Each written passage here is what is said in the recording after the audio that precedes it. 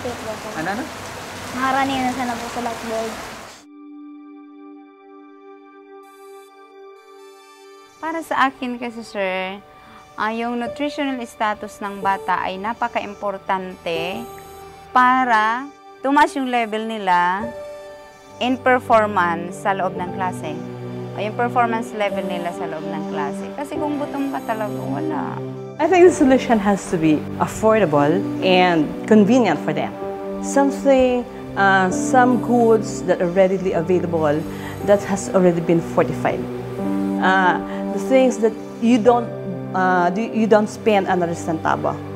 So what you've heard, what does it tell us? What should it tell us? A teacher who can observe and predict how well a child will perform in school. You have a child who will not be able to see well by the end of the day. You have a doctor who is frustrated at looking at preventable childhood diseases at levels that are unacceptable. These are the not hidden aspects of hidden hunger. This puts a face, puts a cost on hidden hunger.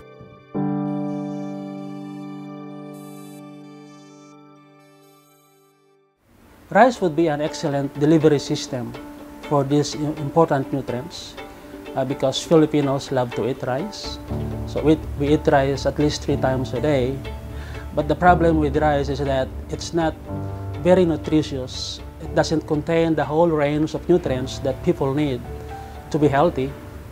So if we put something to that rice, if we add more nutrients to it somehow, and then that would be a good system for the people. Hidden hunger, what is it? It's a, a number of micronutrient deficiencies that show up in large populations, up to 2 billion people in the world. It's primarily iron, zinc, vitamin A, and some others. Why? People's diet or people's access to, to a diet is insufficient at the levels of whole populations, at the levels of children, pregnant women, level of lactating mothers. Women and children disproportionately suffer from, vitam- from, from these deficiencies, from iron, zinc, and vitamin A deficiency. Their needs are greater. Children are growing. Pregnant and lactating mothers are eating for two. If the diet is deficient, they suffer more than others.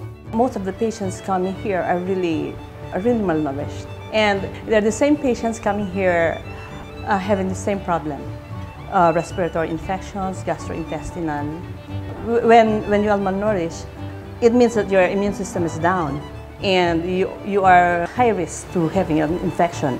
Now, hidden hunger is really there, uh, trying to really uh, stagnate the productivity of our population, especially the young children.